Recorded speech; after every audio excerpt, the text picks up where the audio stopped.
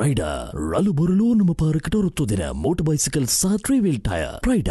ජනතාවට අවශ්‍ය ප්‍රමාණවත් ඉන්දනතුක තෙල් සංස්ථාව සතු බැවෙන් නිසි පරිදි අවම ඉන්දනතුක පවත්වාගෙන යාමට අවශ්‍ය ඇනවුම් සිදුකන ලෙස අමත්ත කංචන විජේසේකර මහතා විසින් ට්විටර් සටහනක් තබමින් සියලුම ඉන්දන පිරුම්හල් හිමියන්ගෙන් ඉල්ලීමක් කර තිබෙනවා. ලංකා කණිතෙල් සංස්ථාව මගින් පාලනය වන ඉන්දන පිරුම්හල් එකසේ එකක පෙට්‍රල් අනු දෙක සහ තවත් පිරුම්හල් හැට එකක ලංකා ඔටෝ ඩීසල් සියයට පණහක අවමතොග ඒ දවස වන විට පවත්වාගෙන යාමට අපහෝසත්ව ඇති අතර ප්‍රමාණවත් තොග පවත්වාගෙන යාමට අවශ්‍ය ඉන්දන ඊයේ දිනේද ඇනුම් කර නොමැති බව අමාත්‍යවරයා පෙන්වා දෙනවා.